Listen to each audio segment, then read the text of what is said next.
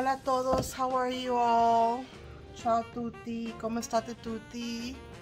¿Cómo están todos? So I'm doing a review on another pair of uh, Chanel sunglasses. Um, so just uh, hang tight as I unbox and demonstrate another beautiful pair of sunglasses from Chanel.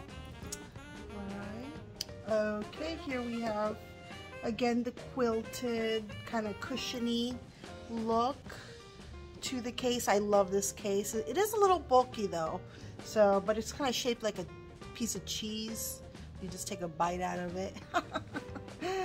anyway, um, comes with all this little things here. I think the other one didn't have this, but um, it's all right. It's fine. So let's see here. Let's open it.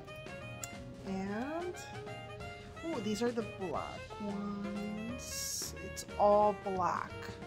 So we have the logo, kind of discreet. These are more on the discreet side. Very cool. Kind of sophisticated, very Parisian. I've been watching a lot of uh, Emily in Paris, so I'm kind of like, everything looks Parisian to me now. anyway, let's see how it looks on. Très chic. I like it. Very chic, very um, discreet, very much everyday type of glasses. I definitely give, the, the comfort level is great.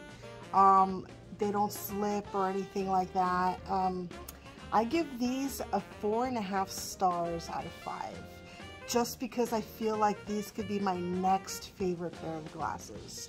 Um, I do feel a little bit of the, you know, um, it's a little bit of a groove here. And this is pretty cool, feels nice. Um, other than that, um, thank you everyone. Ciao tutti. Uh, au revoir, bonsoir. Hasta luego. Okay, bye. Until la later.